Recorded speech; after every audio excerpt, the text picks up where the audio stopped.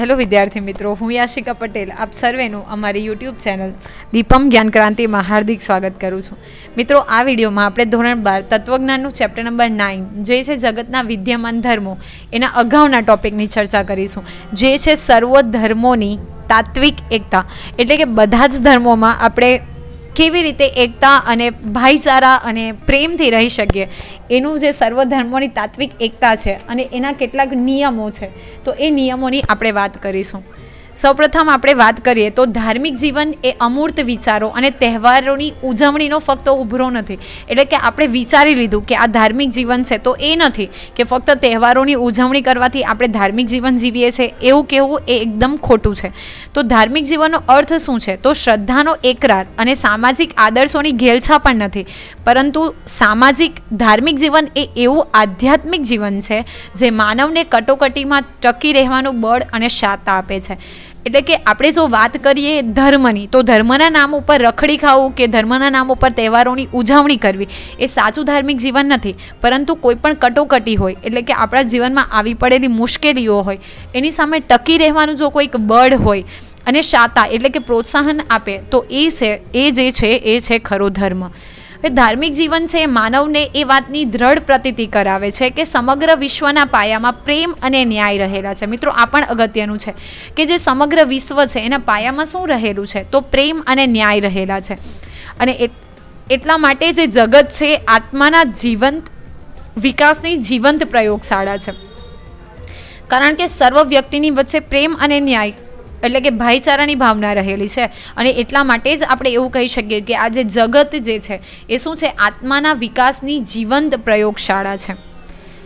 હવે ધાર્મિક જીવન માટેની આપણે પ્રયોગશાળાની વાત કરીએ, એટલે કે ધાર્મિક જીવનની વાત કરીએ, તો પરમ તત્વ કે ઈશ્વરનો જે ઉચ્ચ પ્રેમ જે છે, એ માનવને સહારો આપે છે અને જીવનની તમામે તમામ વિપરીત પરિસ્થિતિમાં આપણને ટકાવી રાખે છે. આપણે વાત કરીએ ઈશ્વરનો ઉચ્ચ પ્રેમ, તો આપણે આપણને ખબર છે મિત્રો કે આપણે એને ફક્ત મહેસૂસ કરી શકીએ છીએ એ જે વસ્તુ જે છે, એ આપણને જીવનની ટફેસ્ટ સિચ્યુએશનમાં પણ શું આપે છે? સહારો આપે છે. અને તમામે તમામ વિપરીત પરિસ્થિતિમાં પણ શું રાખે છે? ટકાવી રાખે છે. અને બધા જ જે ધર્મો છે, એ માનવ જીવનને ઊંડી આધ્યાત્મિક દૃષ્ટિ બક્ષે છે. એટલે કે આપણે જો ઊંડાણથી ગહનપૂર્વક અભ્યાસ કરીએ, તો આપણને શું જાણવા મળે છે? એનું આધ્યાત્મિક મહત્ત્વ શું છે? એ આપણને જાણવા મળે છે. અને એટલા માટે જ આપણે એવું કહી શકીએ કે જે બધા જ ધર્મો છે, એ તાત્વિક રીતે એક સરખો મત ધરાવે છે. તમે કોઈ પણ ધર્મની વાત કરો, તો ફાઇનલી જીવન કેવી રીતે જીવવું? અને કેવી રીતે આધ્યાત્મિકતાથી જીવન જીવવું એની જ આપણને માહિતી મળે છે. એટલે આપણે એવું કહી શકીએ કે જગતના જે તમામે તમામ ધર્મો છે, એ તાત્વિક રીતે કેવો મત ધરાવે છે? એક સરખો મહત્ત્વ ધરાવે છે. અને બધા જ ધર્મોમાં ધાર્મિક જીવનના ચાર અંગો, એટલે કે જ્ઞાન, ભક્તિ, નીતિ અને વૈરાગ્યનું મહત્ત્વ સ્વીકારવામાં આવ્યું છે. મિત્રો, આ પણ ખૂબ જ અગત્યનું છે કે ધાર્મિક જીવનના ચાર મુખ્ય અંગો કયા કયા છે? તો જ્ઞાન છે, ભક્તિ, નીતિ અને વૈરાગ્ય. આ ચારે ચારનું મહત્ત્વ સ્વીકારવામાં આવ્યું છે. હવે ધર્મો તો અનેક છે. ઘણા બધા અલગ અલગ ધર્મોની આપણે વાત કરીએ તો ઘણા બધા ધર્મો છે. પરંતુ હાર્દ રૂપે એટલે કે ગર્ભિત રીતે આપણે વાત કરીએ તો એ બધા ધર્મો શું સ્વીકારે છે કે બધા ધર્મો એ એક જ છે. અર્થાત કે સર્વ ધર્મોનું શુદ્ધ અને સાચું સ્વરૂપ હંમેશા એક જ છે. જે સર્વ ધર્મોની તાત્વિક એકતાનો નિર્ણય કરતી વખતે આપણને કામ લાગે છે. એટલે કે સર્વ ધર્મની આપણે વાત કરીએ, બધા ધર્મો ભલે અલગ અલગ છે, પરંતુ ફાઇનલી તો ગોડ ઇઝ વન એટલે કે એકની જ આપણે સ્વીકૃતિ કરવાની છે. તો એના વિશે આપણે અલગ અલગ જે નિર્ણયો કરવાના છે, તો એના વખતે પાંચ જે માન્યતાઓ છે અલગ અલગ ધર્મની, એનો અભ્યાસ કરવો એ ખૂબ જ જરૂરી છે અને અગત્યનો છે. પહેલી માન્યતા એવી છે કે શાસ્ત્ર ગ્રંથોની પવિત્રતા, પ્રમાણભૂતતા અને દિવ્યતા અંગેની ધર્મોની માન્યતા. એટલે કે જે તે ધર્મમાં જે શાસ્ત્રના ગ્રંથોની પવિત્રતા છે. હવે આપણને ખબર જ છે કે હિન્દુ છે, એ ગીતા છે, કે શાસ્ત્રો છે, એને પવિત્ર માને છે. મુસ્લિમની વાત કરીએ તો કુરાનને પવિત્ર માને છે. હવે એમાં જે દર્શાવેલી બાબતો છે, તો એને જ આપણે પ્રમાણભૂત માહિતી તરીકે સ્વીકારીએ છીએ તો એની જે માન્યતા છે એ નંબર બે છે ઈશ્વરવાદ અંગેની માન્યતા. એટલે કે ઈશ્વર છે કે નથી, એનો જે વાદ છે એની માન્યતા ત્રીજો જે નિયમ છે એ દેવી અવતરણ અંગેની માન્યતા એટલે કે આપણે કેવી રીતે દેવી અવતરણ એટલે કે ઈશ્વરવાદી જે ધર્મો છે, તો એના જે સંચાલક છે, જગતના સંચાલક, તો એ અંગેની માન્યતા. ચોથો નિયમ જે છે, કર્મ અને પુનર્જન્મના સિદ્ધાંત અંગેની માન્યતા એટલે કે કર્મ આપણે કેવું કાર્ય કરીએ છીએ, કેવા ડીડ્સ કરીએ છીએ એ. અને પુનર્જન્મનો સિદ્ધાંત જે છે, એ અંગેની માન્યતા. અને પાંચમું છે, માણસના મરણોત્તર અસ્તિત્વ અંગેની માન્યતા એટલે કે મૃત્યુ થાય મનુષ્યનું. એના પછીનું એનું અસ્તિત્વ કેવું છે? તો એ અંગેની જે માન્યતા છે, એ પાંચ માન્યતાઓનો આપણે અભ્યાસ કરવાનો છે. તો આપણે એક પછી એક બધા, બધી માન્યતા છે એનો અભ્યાસ કરીએ. તો સૌપ્રથમ છે શાસ્ત્ર ગ્રંથોની પવિત્રતા, પ્રમાણભૂતતા અને દિવ્યતા અંગે ધર્મોની માન્યતા. તો જગતના વિદ્યમાન ધર્મો જે છે, એ દરેકે દરેક ધર્મમાં અમુક ધર્મગ્રંથ કે ધર્મગ્રંથોને પવિત્ર માનેલા છે. અને એટલું જ નહીં, પરંતુ એને પ્રમાણભૂત પણ માને છે. અને જે તે ધર્મ છે એ ધર્મગ્રંથોને કેવા માને છે? દિવ્ય અને અલૌકિક. એટલે કે એકદમ યુનિક માને છે, દિવ્ય માને છે. અને એમાં દર્શાવેલી તમામે તમામ જે વિગતો છે, એ જે તે સંપ્રદાય અથવા તો જે તે ધર્મના લોકો શું કરે છે? પ્રમાણભૂત રીતે સ્વીકૃતિ કરી લે છે. એટલા માટે એ જે ગ્રંથો છે, એ કેવા માનવામાં આવેલા છે? પવિત્ર માનવામાં આવેલા છે. હવે આપણા જે રાષ્ટ્રપિતા છે મહાત્મા ગાંધી, એમના પુસ્તક, કયું પુસ્તક છે? વ્યાપક ધર્મ ભાવના.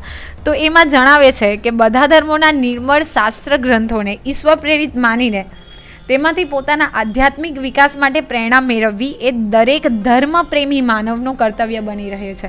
એટલે કે શું છે, ફક્ત એક ધર્મનું ધર્મ પુસ્તક જ નહીં કે ધર્મશાસ્ત્ર નહીં, પરંતુ દરેકે દરેક ધર્મના જે શાસ્ત્ર ગ્રંથો છે, એનો ઊંડાણપૂર્વકનો અભ્યાસ કરીને અને એમાં જે આધ્યાત્મિક વિકાસ અંગેની જે પ્રેરણા મેળવવી એ દરેકે દરેક ધર્મ પ્રેમી માનવનું કર્તવ્ય બની રહે છે.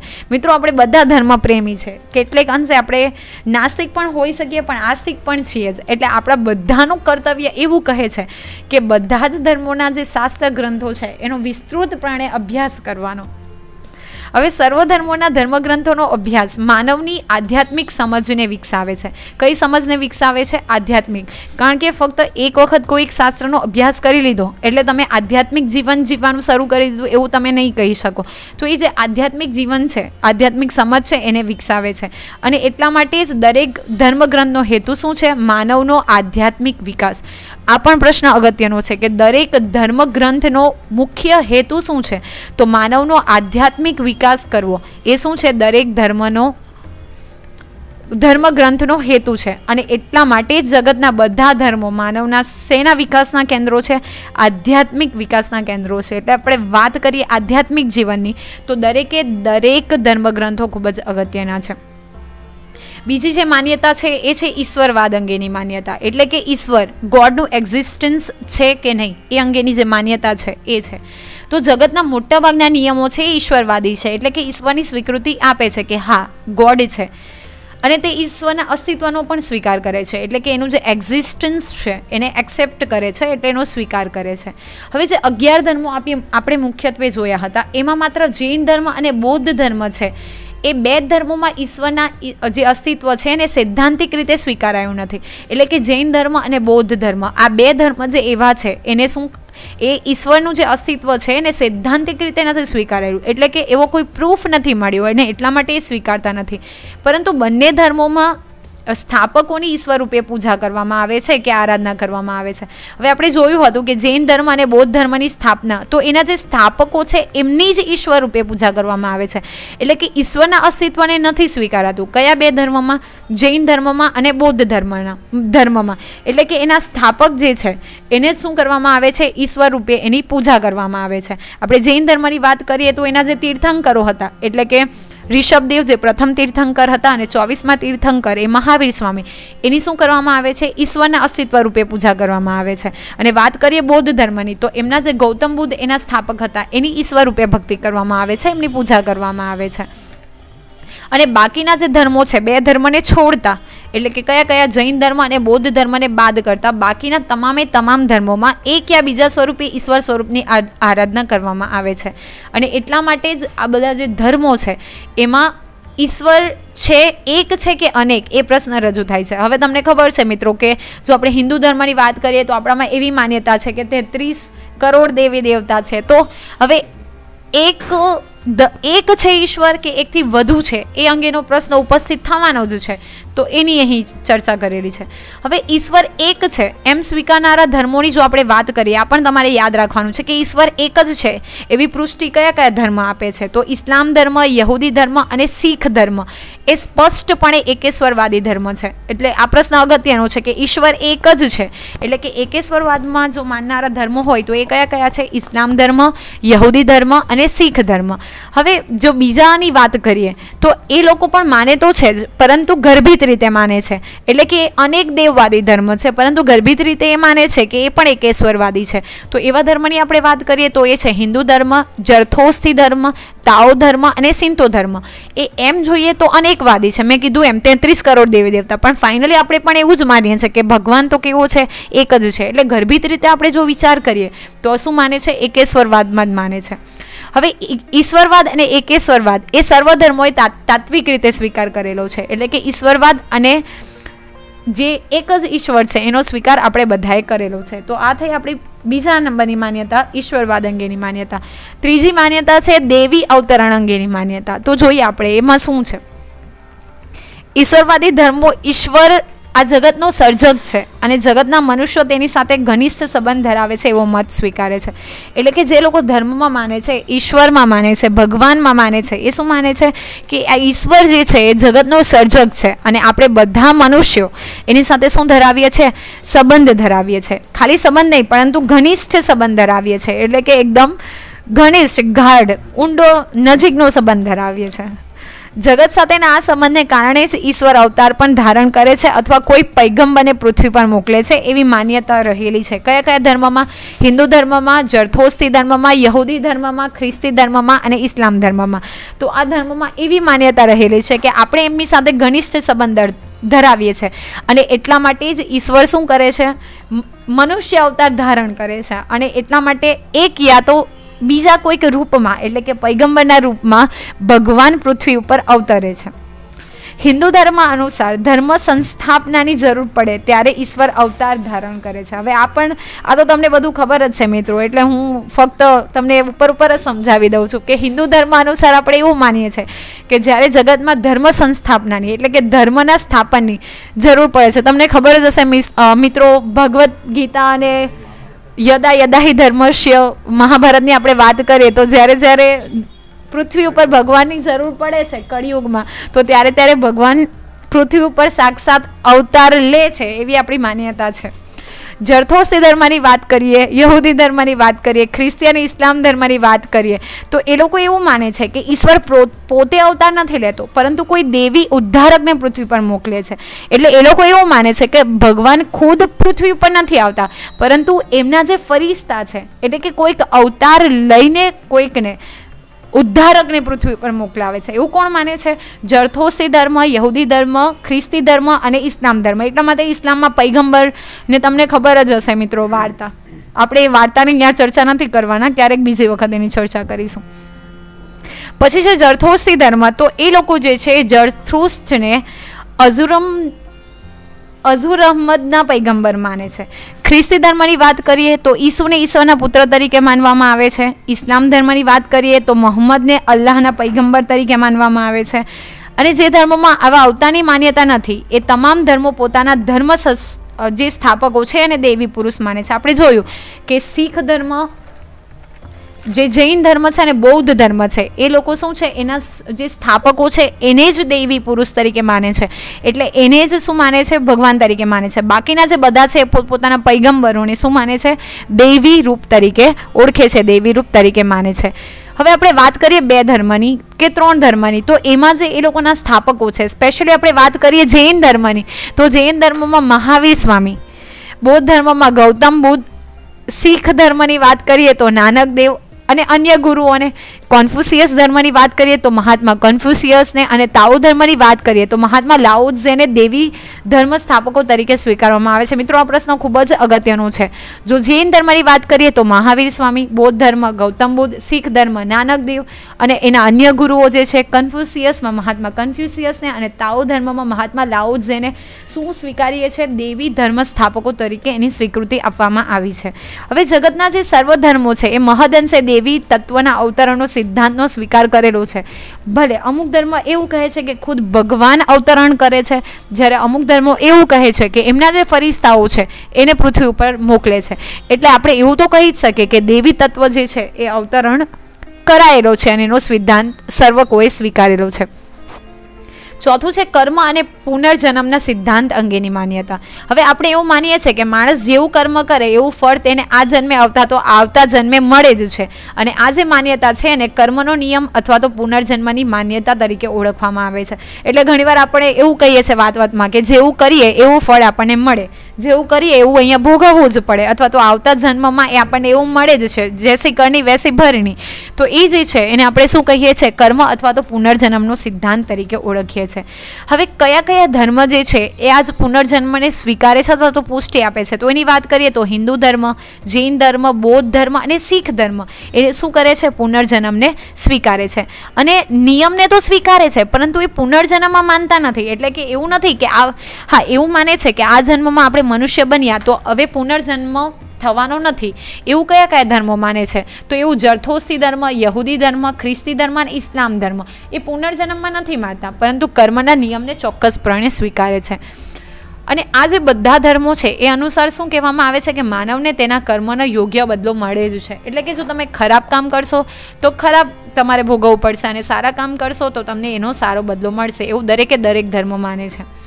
હવે જે કન્ફ્યુસિયસ ધર્મ તાઓ ધર્મ સિંતો ધર્મ, આ ત્રણ ધર્મમાં કર્મના નિયમોનું સ્પષ્ટ પ્રતિપાદન પ્રતિપાદન કરવામાં આવ્યું નથી. એટલે કે સ્પષ્ટપણે એની માહિતી આપણને મળતી નથી. પરંતુ એમાં સત્કર્મનો ઉલ્લેખ છે, જે ગર્ભિત રીતે શેનો ઇન્ડિકેશન કરે છે, કર્મના નિયમનો નિર્દેશ કરે છે. એટલે કે સારા કાર્ય કરવાનો ઉલ્લેખ છે, એ ગર્ભિત રીતે. એટલે કે આપણે જો ઊંડાણપૂર્વક વાત કરીએ તો એ શેને પૃષ્ટિ આપે જ છે, જે કર્મનો સિદ્ધાંત છે, એનું સ્વીકાર, સ્વીકારે છે.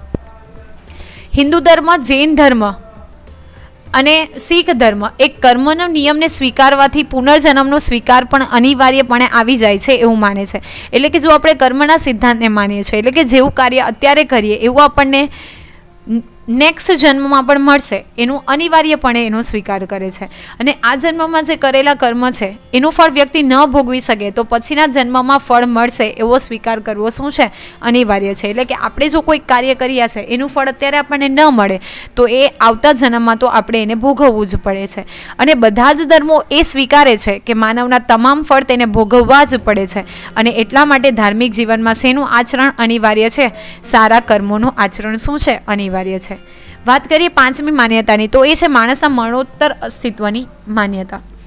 તો હિન્દુ ધર્મ, જૈન ધર્મ, બૌદ્ધ ધર્મ, શીખ ધર્મ જરથોસ્તી ધર્મ, યહૂદી ધર્મ, ખ્રિસ્તી ધર્મ અને ઇસ્લામ ધર્મ માણસના મરણોત્તર અસ્તિત્વનો સ્વીકાર કરે છે. એટલે કે અત્યારે મૃત્યુ થાય, પછી પણ એનો અસ્તિત્વ છે. મરણોત્તર એટલે કે મરણ, પછી પણ એનું અસ્તિત્વ રહેલું છે, એનો સ્વીકાર આ ધર્મો કરે છે. હિન્દુ ધર્મ, જૈન ધર્મ અને બૌદ્ધ ધર્મ. અને સાથે સાથે શીખ ધર્મ એ મરણોત્તર અસ્તિત્વને સ્વીકારે છે અને સાથે સાથે વ્યક્તિ પોતાના આત્માના મૂળ સ્વરૂપનો સાક્ષાત્કાર કરે છે અને ત્યારે તે મોક્ષની અવસ્થાને પામે છે એમ પણ સ્વીકારે છે. એટલે કે હિન્દુ ધર્મ, જૈન ધર્મ, બૌદ્ધ ધર્મ અને શીખ ધર્મ એ શું માને છે કે જ્યારે આપણે આપણા આત્માનો સાક્ષાત્કાર કરીએ, આપણે શા માટે આપણું અવતરણ થયું છે? આપણા જીવનનું સાચું હાર્દ શું છે? એ જ્યારે આપણે સાક્ષાત્કાર કરીએ, એનો સ્વીકાર કરીએ, તો આપણને ચોક્કસ મોક્ષ મળે છે એવું આ ધર્મો સ્વીકારે છે. મોક્ષ એ ધર્મ અનુસાર શાશ્વત ધન્યતાની અવસ્થા છે જેમાં દુઃખનો સદંતર અભાવ છે. એટલે કે મોક્ષ મળી ગયો. એટલે કે આપણા દુઃખો શું થઈ ગયા? પૂરા થઈ ગયા. અને આપણા માટે સુખ શરૂ થઈ ગયું. જરથોસ્તી ધર્મ, યહૂદી ધર્મ, ખ્રિસ્તી ધર્મ, ઇસ્લામ ધર્મ એ પુનર્જન્મમાં માનતા નથી. અને એ શું માને છે? આ જન્મ પહેલો તેમજ છેલ્લો જ ધર્મ જન્મ છે. એટલે કે આ જન્મ આપણો કેવો છે? પહેલો અને છેલ્લો. જે માનવ એ આ જ છે. એ લોકો કોઈ પુનર્જન્મને માન્યતા આપતા નથી. અને આ ધર્મ અનુસાર શું છે? માણસ મરણ પછી સજીવન થાય છે. એ પ્રશ્નનો એક સરખો ઉત્તર મળતો નથી. એટલા માટે એ લોકો સ્વીકારતા નથી. પુનર્જન્મને એ લોકો માન્યતા એટલે કે પુષ્ટિ આપતા નથી. અને આ ચારેય ધર્મોમાં એક બાબત પ્રતિ સમાનતા છે કે આ ચારેય ધર્મો કે સેના છે, કયામતવાદી છે. એટલે કે પહેલું અને છેલ્લું, એમાં એ લોકો માને છે. હવે કયામતનો અર્થ જોઈએ તો પ્રોફેસર દાવર જે છે, એમના મતે કયામત એટલે ઉઠીને ઊભા થવું, સજીવન થવું એવો થાય છે. એટલે કે એ લોકો પુષ્ટિ જ નથી આપતા. એટલે કે આપણો જે અવતાર છે કેવો છે? પહેલો અને છેલ્લો જે ગણો એ આ જ છે. એટલે કે આપણે ઉઠીને સજીવન થવાના નથી. એટલે કે આપણું જીવન જે છે એ ફરી આપણને પુનર્જીવન મળવાનું નથી. એટલે કે મરણોત્તર અસ્તિત્વનો સ્વીકાર કરે છે, પરંતુ એને એટલી પુષ્ટિ આપતા નથી. આશા રાખું છું મિત્રો કે તમને આમાં સમજાઈ ગયું હશે. અને જો તમને મારો વીડિયો પસંદ પડ્યો હોય, તો વધુમાં વધુ લાઇક કરો શેર કરો અને અમારી ચેનલને સબસ્ક્રાઈબ કરવાનું ભૂલશો નહીં. ત્યાં સુધી હું રજા લઉં છું. Take care goodbye and thank you